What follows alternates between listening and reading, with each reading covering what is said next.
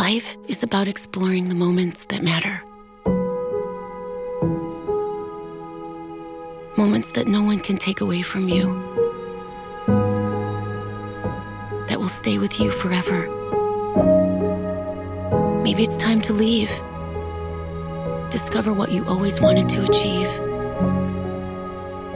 Find the places you always dreamt of, but only vaguely imagined experiencing.